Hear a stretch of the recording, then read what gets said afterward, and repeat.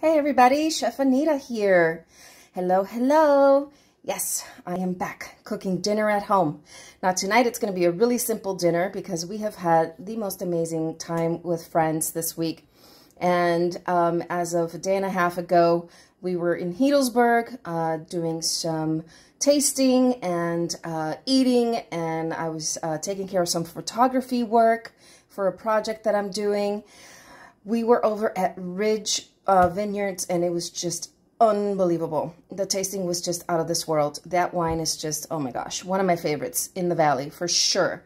Um, so today I came home, I didn't feel like going shopping and I knew I had a lot of vegetables uh, lying around and that I need to utilize. So I'm taking some potatoes, these little baby carrots that Naya absolutely loves to snack on and um, some sweet potato. I'm going to mix in there some um, red onion as well toss it with some of that Corto olive oil, salt, pepper, and I'm going to put that onto a sheet tray into a 450 degree oven, and I'm going to roast it off so that then I can uh, build some beautiful little enchiladas.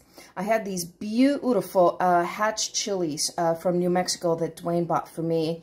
And like I said, I had to use them up, so I've put everything into a pan with some cilantro. I have some serrano chilies, a little bit of habanero, some jalapeno, beautiful onion, some lime squeezed in there, and then I added some chicken stock, and I'm just going to cook all that down, and then I'm going to blend it in my uh, Vitamix, and then that's going to get poured over the enchiladas after they've gone into the oven, like I said, with a cheese blend, and I have uh, two cazuelas in there right now, uh, heating up so that when that enchilada hits that pan, they'll get nice and crispy on the bottom as well. I just love that. And then I'm going to pour this sauce over the top, broil them with some cheese, uh, or not broil them, but, you know, put it under a hot broiler so that the cheese melts, and then we're going to eat. And it's going to be beautiful. It's going to be gorgeous, and I can't wait for it.